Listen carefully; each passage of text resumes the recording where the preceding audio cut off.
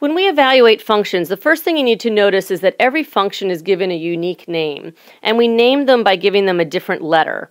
So you can see here that I have the f of x function, I have the g of x function, and the h of of x function. It can, really can be any letter, um, and every one represents a different unique curve. Okay? So when we go, so you have to know which function you're going into. So when I ask you to evaluate f of 3, you have to go into the f function, not the other two functions. Okay, so when I evaluate that, wherever I see an x, I'm going to plug in a 3, so that's going to become 2 times 3 minus 3. Following my order of operations, 6 minus 3 is simply 3. So that means that f of 3 equals 3. Or the point, the x value of 3 and the y value of 3 happens to be on that curve. So let's do the next one. So g of 3 plus 2. So I can take a function and then I can add something on to the end. So if I go into the g function, notice I'm going into the g function this time, that's negative 3 plus 3. I plugged in positive 3 into the g function there, and then I'm going to add on this 2 at the end, plus 2 plus 2. So following my order of operations, negative 3 plus 3 plus 2 simply equals positive 2. I can also have a multiplier out front. So on this one, I have this means 4 times, or 4 being multiplied by h of 3. So if I write that out, that's going to be 4 times, and now I go into the h of 3 function. So that's 3 squared. Okay, following your order of operations or PEMDAS, you have to do this exponent first. So this is 9, and 4 times 9 is 36. Okay, the g of 2 function. So this, I can also combine different functions. So here I'm going to combine the g function and the h function. So simply write them all out. So g of 2 becomes negative 2 plus 3 plus and then the h function. So this is 3 squared. So following your order of operations, don't forget to do that. That's negative 2 plus 3 plus 9, right? Because we have to do that exponent first.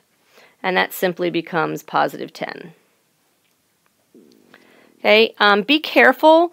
I'm going to do this other one again. So let's do, um, I'm going to do what? f of 2 minus um, g of 2, let's say for example. Okay, so now um, I'm doing that because uh, hopefully you guys are recognizing that if you have a minus sign here, you have to minus everything on this g of 2 function. So f of 2 becomes 2 times 2, Oop, too many 2's here, minus 2 minus, and then in parentheses, negative 2 plus 3. So let me get rid of a little bit up here. Okay, so now um, this uh, following your order of operations, we're going to do 4 minus 2, and then I have to distribute this minus sign, right? So this is going to become plus 2 and minus 3, right? You have to distribute that minus sign to everything here. So this becomes positive 2 minus 3. So now following your or, uh, order of operations, this is simply going to just be the number 1. Okay, so be careful. So if you're minusing anything, if you're subtracting anything, you have to subtract everything following that minus sign. All right, so let's do, uh, let's step this up a little notch here. A couple more things we have to do in this video. Um, sorry about this, you guys. Mm. Wow. Didn't realize these are all separate pieces. All right. So let's do, I can also add functions together. So let's do f plus g of x. I can also do f minus g of x. I can do f times g of x. And I can do f divided by g of x. So the first thing you should notice about this is the thing that's unique about this these types of equations is, is that these are all variables. There's no numbers here, right? There are no numbers. I'm not evaluating anything. Basically, all I'm doing is simplifying and combining functions at this point. So if I just want to add the f and g function, all I'm doing is I'm adding the f function and the g function. So let me show you what that looks like. That looks like 2x minus, uh, sorry, minus x plus negative x plus 3. So what I did here is I took the f function and I'm adding to it the g function. Combine your like terms. So 2x minus x minus x, well, that is actually, and this is unusual, all these x's actually ended up canceling, and this just simply equals 3. So the final answer is 3. That's not um, like that's not usual. Let me show you on the next example. So let's do f minus g of x. So now I'm going to do 2x minus x, that's my f function, right? And I'm going to minus in parentheses my g function, so negative x plus 3. So now I'm going to distribute this negative and get rid of this, these parentheses. So I'm going to rewrite it. So, oops, 2x minus x plus x minus 3. Okay, so these two x's are actually going to cancel, and my answer, my final answer is just 2x minus 3.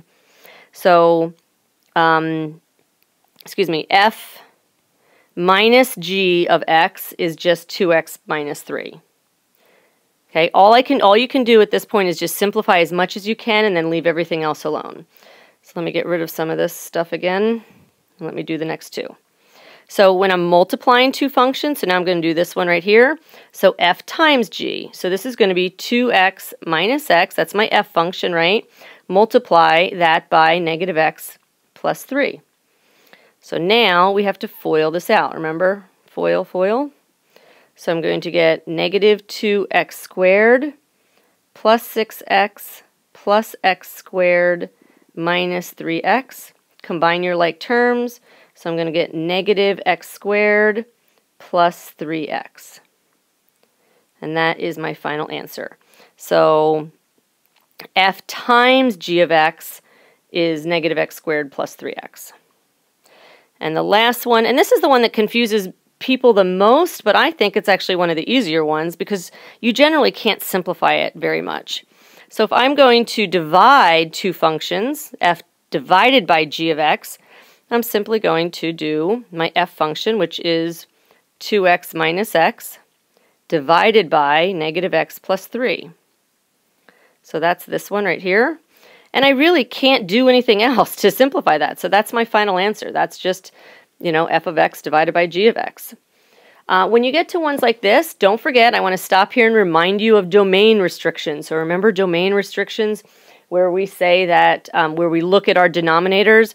Remember my denominator, if I'm asking about domain restrictions, my denominator cannot equal 0. So what we do is off to the side, we say, okay, negative x plus 3, we actually set it equal to 0. So negative x equals negative 3, so x equals 3, and what we say is x cannot equal 3. Because if I plug a 3 into this denominator, into x, can you see I'm going to get 0? And that's bad, right? No, no zeros in a denominator ever. So just make sure don't, you don't forget about domain restrictions. So this is my domain restriction okay, that x cannot equal 3. So uh, whenever you have a denominator, there are two conditions we're looking for, right? Denominators can, can equal, equal 0, and if we're sticking in the real world, um, which we are for functions, then we cannot have a negative number or a number less than 0 under a radical sign. So if you ever see those two conditions, that's what we're talking about with domain restrictions.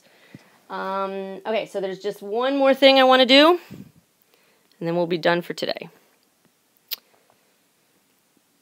Okay, so last but not least, um, so you know how to evaluate, you know, f of 2, but what if I say, what is f of 2 plus x?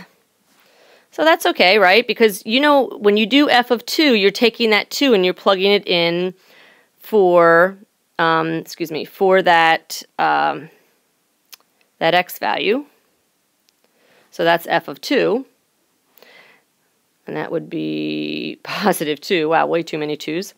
Um, so if I'm going to do 2 plus x into that equation, that's okay, right? Because I'm just going to take this 2 plus x in parentheses or, you know, whatever, and, and put it in for wherever I see an x. So that's going to be 2 and then 2 plus x minus, in another parentheses, 2 plus x. So now I can distribute and um, use my order of operations, right? So that's going to become 4 plus 2x minus 2 minus x, and that is just x plus 2.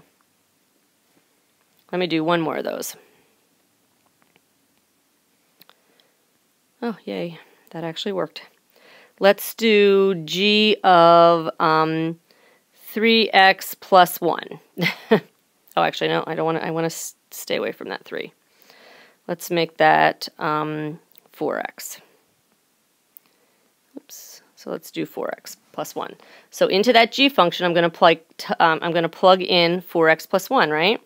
So that is going to become negative 4x plus 1 plus 3.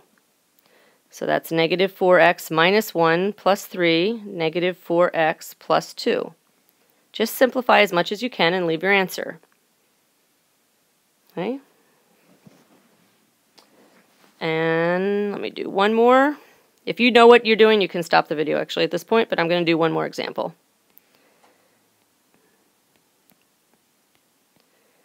Okay, so let's do, um, um, let's do h of x plus 2. Okay, so this is going to become, so I'm going to plug in x plus 2 wherever I see that x in the h function. So that's going to be x plus 2 squared, which is x plus 2 times another x plus 2, and that is x squared plus 4x plus 4. Okay, so I hope that helps. Uh, let me know if you have questions.